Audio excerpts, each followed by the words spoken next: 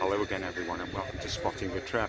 Today we're down in Italia, in Mildenhall, down in Suffolk. Uh, I'm down today because uh, we've got some visiting uh, F-16s from Aviano base in Italy. Uh, and they're taking part in the Cobra Warrior exercise. So um, hopefully we get some of those going off. Uh, I've got a couple of tankers um, about half an hour ago, which are also involved in the exercise. Uh, so that's what we're here for today. So hopefully we can get some half decent stuff. But as always, let's go spotting.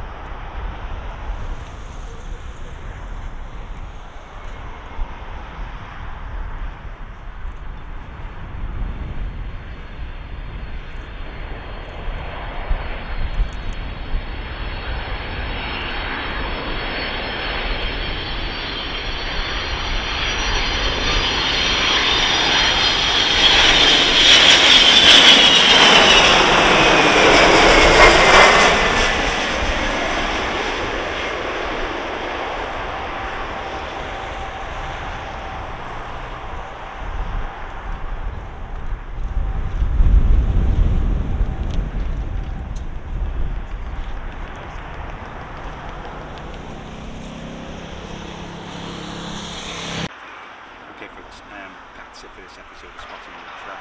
Um, down here at Arden, it's been absolutely brilliant day. Uh, we did get the Avianos going out for the exercise, also both the tankers out and back in again, and the RC135. Been a brilliant day, weather's made, it's been absolutely gorgeous. Um, if you do like what I've done, please just give me a thumbs up and of course subscribe to the channel. But as of always, as they say in Hollywood, watch Dale. Bolton, and of course not forgetting good old sunny Stoke-on-Trev. That's a wrap, and I hope to see you all again very, very soon on Spotting with Trent. Thanks for watching, and bye-bye for now.